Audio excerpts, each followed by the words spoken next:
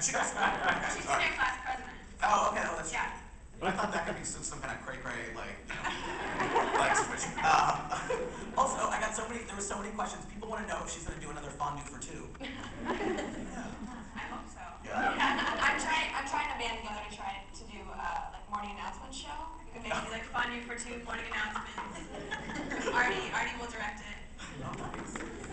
And how is Lord Tubbington to work with? Is, he a, is he a diva? He seems like a diva. No, he's so cute. He's really shy on set, and he just like. I have a cat at home, so I love cats. It's the best. Uh, my other,